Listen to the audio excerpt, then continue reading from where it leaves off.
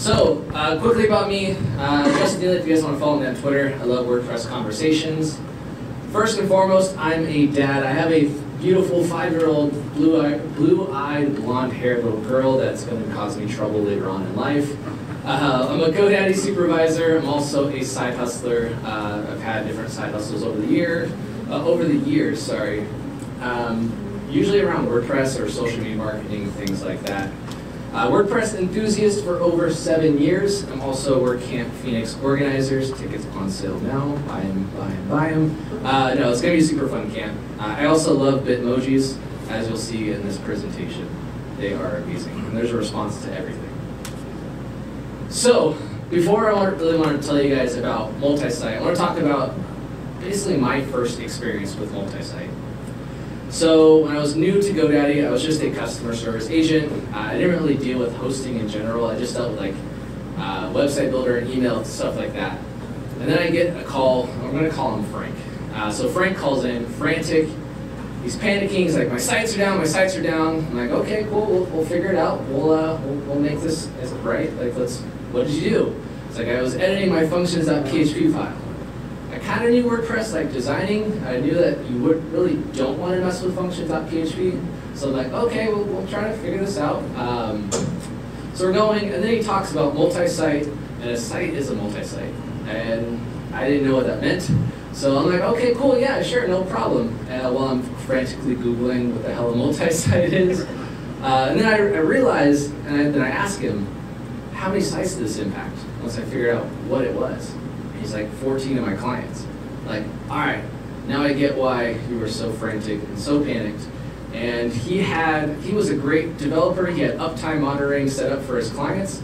Um, but he had uptime monitoring set up for his clients. So his clients were calling him saying, what's going on with my website? So he's trying to get that going. Uh, long story short, we end up finding out he just has a backup that he can restore to. We got the site up and running he was like this, I was like this. We're like, cool, let's, let's get it going. And then by the end of the conversation, I, I just asked him, like, with, with all this risk, why multi-site? Like, why, why would you actually do that? Uh, we'll get to that in a little bit, what his answer was. So what is multi-site? What is this weird word uh, added to the end of WordPress? So from the WordPress Codex, it's a feature of WordPress 3.0 and later versions that allow multiple virtual sites to share a single WordPress installation. What that means is essentially you, you have that one site, but you can create unlimited sites, and literally unlimited sites as your server allows it, which is pretty cool. So it started with WordPress MU way, way, way back when. It was created to basically make a network of blogs around this similar topics, same niche, things like that. June 2010, WordPress integrated the feature into core and enabled the creation of a network of websites. So now it's no longer just a blog to create posts in that network. You can have full-fledged WordPress sites with a single install. Uh, talking plugins, themes, uh, all that good stuff. So if you imagine this as the, the, the multi-site directory, so we have our main WordPress site, right? It's going to control everything, and literally everything. You can kind of equate this like a landlord. So your landlord has everything, and then you control what your renters can do. So you don't want them to paint the walls, you don't you tell them don't paint the walls. Same thing with this. You give them the themes that you want them to have, you give them the plugins you want them to have, the settings, the upload limits, things like that. The, the one site controls everything, but it's all under that same umbrella. So some terminology to know when it comes to multi-site. So a network refers to the entire multi-site network, uh, i.e. your WordPress install. A site refers to one of the blogs or sites created as part of the network. Network admin is the central dashboard to manage all sites within your WordPress network. And a super admin, if you're running the, the multi-site, this would be you, uh, is the person who looks after it all. You're the landlord. You dictate whether or not people can do what you want them to do. So how is the admin different? So with, when it comes to multi-site, you get a couple of extra features inside of WordPress as that super admin. I'm going to actually show you a live site. Yay, live demos. Um, cool, so this is, all right, this is the network admin for a multi-site, if you also can see it. So on the left-hand side, that's kind of hard to see. Uh, upper left, you can access all the sites in your network. You have your network admin for your main settings, and you have your sites that you control under that network. On the left, you can make your updates, and with the, the multi-site itself, you control all the updates on the site. You don't have to go to each individual website to actually make those updates. So it's pretty cool. Uh, upgrade network, on the left-hand side, there are sites, if you can see it. And you can access all the sites and manage them that way too, or just add a new site. So if you want to add a new site in your network, you go to add new and create your path. When it comes to multi-site, there's two different ways or, or methodologies behind it. You can set up a subdomain or you can set up a path. So the subdomain being something dot your domain name, something one dot your domain name, and a path being your domain yourdomainname.com slash something, right? The thing is, if your website has already been set up and established, you cannot set up the, the paths. It has to be a brand new install if you want it to be the slash something. You can set up the subdomain at any point. Brand new setup, uh, or while the site's existing. And you set up your site title, the admin email, then add site, and it pop up here. On the left-hand side, you have your users. So you can see me here, I'm a super admin. Um, so I get to control everything. I can add new users here, or if I had other people in this fake network, I'd be able to see them all here. Themes, so what's cool about this is you get to control, again, what, what, your, what your network has access to. So if I want to make sure that they don't have 2017 on, on their list, I make sure that's disabled. Uh, if I want 2019 to be there, I'll enable it. Maybe I want 2016. So I quickly enable it, and now everyone in my network can have 2016 in their site. Same thing with plugins. I can tell them what I want them to use and what I don't want them to use. It's really cool with niche sites, like say you have like a community of some sort that, that has to have this plugin, right? Uh, so you can get that set up. So now with this too, only the super admin can install plugins and can install themes. So if there's someone on your network that wants something special and you don't allow it, they'll probably have to go through you and just ask you. Uh, you'll do your fact checks or make sure it's all good. Install it if need be or charge a premium for it. Whatever you want to do there. Um, so that, that's really it for the admin itself. I'll go into one of these sub-sites. Now, as a super admin, any sites that you have in your multi-site network, you your what you have set up as a network-enabled theme or plugin doesn't apply to you. You're the super admin, you get to do what you want. So even if you have not enabled it for your network, you can still use it, which is kind of cool for your main site. You can make sure that you have all the cool plugins that do all these things, but maybe don't want them to do it because it's a resource hog or whatever that looks like. But inside here, you can notice if I, I mouse over plugins, there's no add new. They don't even get that option. All they can do is activate or deactivate. That's it. All right, now jumping back. Anybody have any questions about the admin area before I move on? Groovy.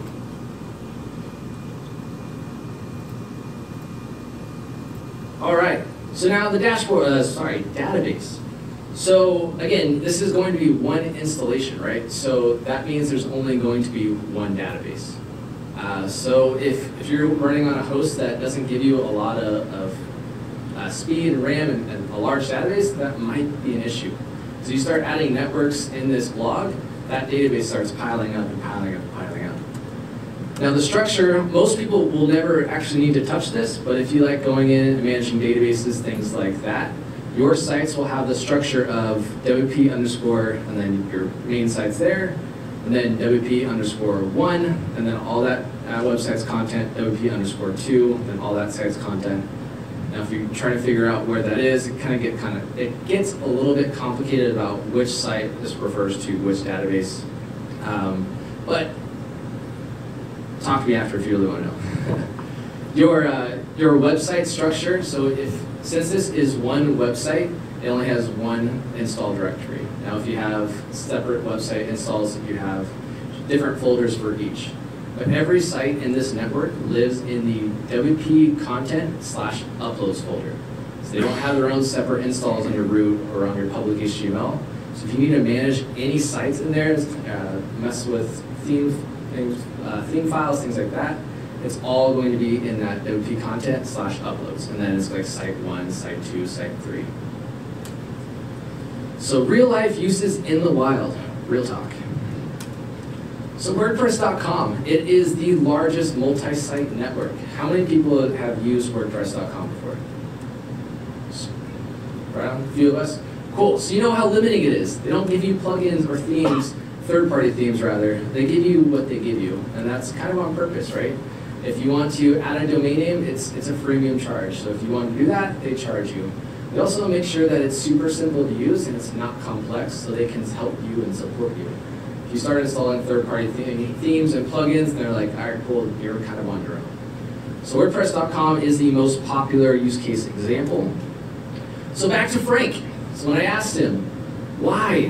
Why multi-site? My first experience ever, and it was chaos. Why would anyone want to do this? So he's a web, web designer, and he's using multi-site for his clients. Uh, and the reason why is, one, he gets recurring revenue by being able to host the websites. Two, he has full control. How many people, uh, how many people are designers in here? A few us. Uh, how many of your clients have ever broken their own site? Quite a few. Quite a few. How many people have broken their own sites? right? So that's why, that was his big reason why he had multi-site set up, because he did not want his clients going in and installing some random plugin because they saw something on Google or whatnot. They don't want them going in and installing a random theme. That has terrible security risk, right? He wanted a controlled environment and that made sense to them and essentially dumbed it down so that they couldn't break it. And they were fine with that because they can go in and manage it without breaking it. That, that, that scariness is gone. So those are his reasons. So we have site one set up uh, with his client, site two set up with his client, site three. And his themes are already set up, the plugins are set up that they need. There's nothing more. And if he ever needs to go and make changes, he could quickly log in to his super admin and all of the sites are listed right there. They can jump right in. He doesn't have to remember which password was for what or have one password for everything, which is awful, but I've seen it. Um, so yeah, it, it, helped him out. And after he told me that, I was like, okay, that makes sense. I, I get it. So news and media sites. So these are pretty popular use cases for multi-site. Uh, the New York Times blog is a super popular multi-site network that lets uh, has different areas for the sites that kind of all works. Reuters blogs is just one that I kind of found that uses multi-site for their different categories, and then each uh, their authors sometimes have different their own type of multi-site with their information. And then BBC America was a was an interesting one. Uh, so they're a, a media uh, media site uh, resource over in the UK. What they do is they'll have their main hub site, and instead of each show having their own websites thrown up or whatever, they give them control of what they want to. So each show has their own site in that network, which is pretty cool. So then they can make all their changes, but it still stays on brand because BBC America has the the header locked in and the footer locked in and the style locked in. But then the shows can make their own edits and make it their own. Educational websites. So on the left and right, University of Austin, Texas, and the University of British Columbia blogs, uh, they let their professors and students create their own websites uh, inside their multi-site network. So they can create articles for their students or vice versa. Uh, so that's a pretty cool use case. And then EduBlogs is pretty similar to WordPress.com. Uh, it's tailored towards education. So if you're a teacher, you can go in there quickly spin up a website. So if you have multiple locations, uh, I have a couple examples listed up here, but ones that could apply to us is if we had a couple brick and mortar stores, instead of having separate websites for each, having to manage that, you can quickly make a multi-site network and easily flip-flop back and forth and share information uh, to make your life a lot easier. Then it's just one website to manage as you grow and grow and grow, which is awesome, right? You don't want to give yourself more admin work. This kind of takes it away which is really popular with restaurants. And then real estate is one that I didn't really think about at first uh, as a, a, good use case, right?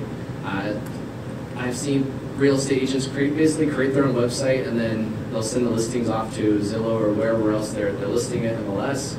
Uh, but I, as I researched this a little bit more, I saw them basically create their own multi-site network, and then each single home property or, or whatever property got its own website. And they quickly spun it up, had the same branding, just added the content in, and then listing two, same thing, spun it up, got that website in, easily managed it. When it was sold or when they're done with it, they just deleted it and moved on from there.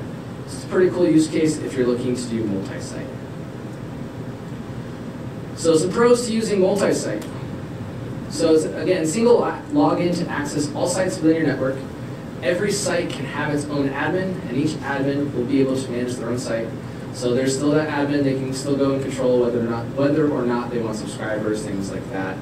Uh, shared plugins and themes, so if you install it once, it's there across the board. One update to rule them all. Uh, so one update for your themes and plugins, or even core and your, your entire network is updated.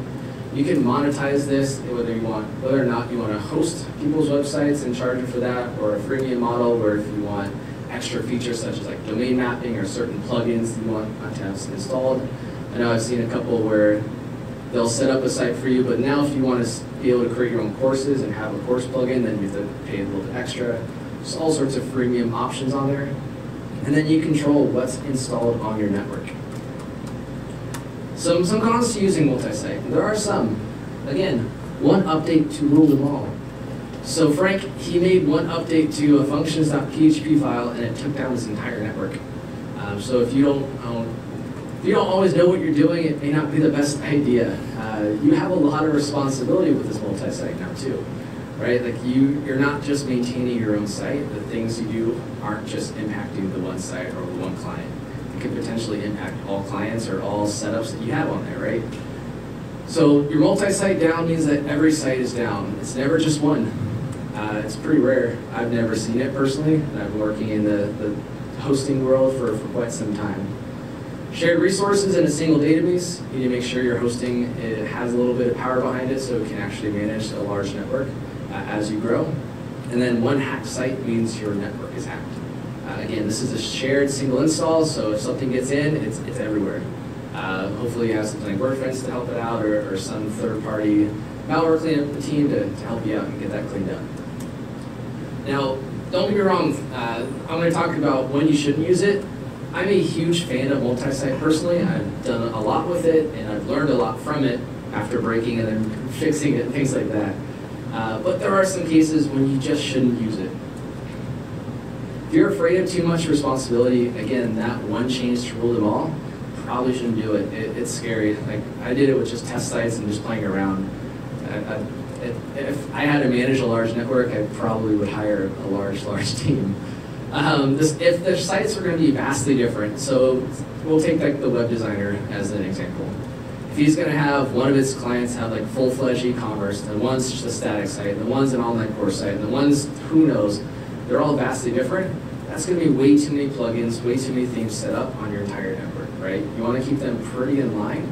Uh, make it make sense. Because then if your clients start seeing some random plugins, they're going to start activating stuff, and I don't want to deal with that. Uh, if you're unfamiliar with migrating sites off of multi-site, that, that process can be a little bit complex. Migrating in general, things can go wrong, so if the multi-site just adds another uh, cog to it. If you only need to manage a few sites with the caveat of the brick and mortars, you have lo multiple locations, that's a great use case, even if you have two. But in any other example, just create different sites. It's a lot easier to manage and less responsibility. Uh, and if, then if you need it, if you're trying to do this to create staging sites, there are much better ways to do it. Uh, we'll talk after. There's plugins, there's hosting providers, there's all sorts of things. Don't do it for staging environments. So now we understand multi-site a little bit more, at least uh, the gist of it. So how do we set up your first multi-site? So I'm going to go through the, the general steps. It is code to copy pasta. Don't worry, I'll give you a quick link if this interests you in actually setting up. Uh, but I'll give you the, the step-by-step. -step. There's essentially three. So step one, you're going to open up your wp-config.php file uh, located in just your root folder you know, right above the line that reads, that's all, stop editing, you add that little WP allow, multi-site true, uh, save it, upload it back up. Then step two, in the WordPress admin, you go to Tools, Network Setup, you choose subdomain uh, or subdirectory if it's your brand new install. Edit your title, click install. Then step three, this final step. You copy some code that's going to give you, it's going to say, hey, copy this in your WP config, copy this in your htaccess, or paste it rather, uh, and save, and then you're done. So it's three steps, a lot of copy pasta. You don't have to know code to set up multi-site. There are also some plugins that can help you set it up, although I haven't tested any, so I don't want to make any recommendations. But it's three steps. If you know how to FTP, you can do it. And again, uh, sorry, x.co, I don't know what that weird icon is there. x.co slash multi-site uh, links over to WPMU Dev's full-fledged guide of setting up multi-site. That's what they do all day, so it's a, it's a great resource. And then this is that, that page that you copy. That's why I didn't read everything or write it down. It's a lot to read. Um, but you would just copy paste that over. So key things to note. Uh, the wp-config.php is going to have a couple extra lines of code. So if, you, if, it ever gets wiped for any reason, you can't just get a fresh copy. Uh, you have to make sure those couple extra lines of code you copy pasted over are back in. Again, the WP content uploads folder is going to house each of your subsites in your network. Every site will be housed in one database. Make sure you have the resources, and only the network admin can install themes and plugins. So a couple of plugins to help you with your multi-site. So I'm a huge fan of MUDev and what they do with multi-site. That's literally how they got their, uh, got their name. But ProSites allows you to essentially do what uh, WordPress.com does or what EduBlogs does. You can set up a free network so they can go and quickly register for free, or if you want to charge them, you can. Then you can sell different tiers on your, your actual environment. So if you want certain plugins to have a certain tier, cool, you do that. If you want to have more space, cool, you can charge for that. You have a little tiered system. Helps you monetize that, that, that multi-site blog because we all like money. Uh, Ultimate Guide Domain Mapping. So MUDev has a domain mapping plugin. There are a couple of others on the WordPress repository too that can let you set up so people, so instead of that subdomain dot your domain, you can let the people on your network use their own custom domain name and point it over. So again, that kind of goes back to the pro sites too. If you want to make sure you can actually charge for it, do what WordPress.com does. Great, you can set up a free one using my subdomain, or if you want your own, extra eight bucks a month or whatever you end up charging. Uh, we all know that spam is an issue with WordPress. Uh, I've seen I've seen sites with literally 10,000 comments. He's like, I don't know how they got there. I have no comments. But same thing with your multi-site. So you get spammers that'll just create uh, multi-sites in your, or create network, or sorry, rather, create sites in your network rather. Uh, so this helps stop that. So if it looks fishy or, or whatever, it's going to block it for you. I highly recommend having this or something similar. Multi-site clone duplicator. Uh, so this one lets you quickly clone a site in your network into a new one uh, without having to redo everything. Literally just take a copy, paste it right over, and you can go ahead and make your changes based on whatever the use case is. Uh, multi-site plugin manager. So this will help if you want to have certain plugins automatically activated when your the, whoever person signs up for your, your network. It's already activated there. Or if you want to have person A have X plugins and person B have Y plugins, it's a way around that so they don't see everything. Um, so it might, might work for you if you want to do the, the web design route and do it from there. And my absolute recommendation is have a backup option in place. There are so many options to back up your site for super cheap or just time, right? Just have a backup, have something. Even if you don't have a multi-site, have a backup Just even it's local, it's, third party on Google Drive, AWS, whatever it is, do it. So my verdict, try it if it makes sense. If multi-site sounds interesting to you, test it out, see if it works. Uh, if you have any questions, like specifics, I'm happy to chat about it. I've tried a lot of different stuff. I've one of my, my networks was to I created pre-made sites that someone would buy and spin up and create my network. So I've done a little bit of advanced coding stuff into that. So hit me up, we'll talk, we'll see if it works for you or if I have any suggestions. I'm absolutely for it. Um, but that's all I have for you. Uh, who has questions about multi-site? You say subdomains or, uh, or subdirectories? Correct. You can't do multiple domains? You can. Uh, and that's with Uh, domain mapping plugin. So MUDev has one. It's in the, the WordPress.org repository. You set that up. Uh, the only thing is, they whoever points the domain to you has to manually update the A record. And if you say like cPanel or something like that, you have to make sure you add the domain name on the, the hosting account. That way the server knows what to do. So with the subdomain, I didn't mention it, but I'm glad you called it up, like you reminded me. You can set up what's called a wildcard subdomain, which is just the asterisk, and point it to your hosting account's IP address. And then same thing inside the cPanel, have that asterisk as the subdomain. So now, no matter what anyone creates, crazyexample.yourdomain.com, it'll auto- automatically be there, which will help out. Any other questions about multi-site? Groovy, that's all I got. Thank you guys.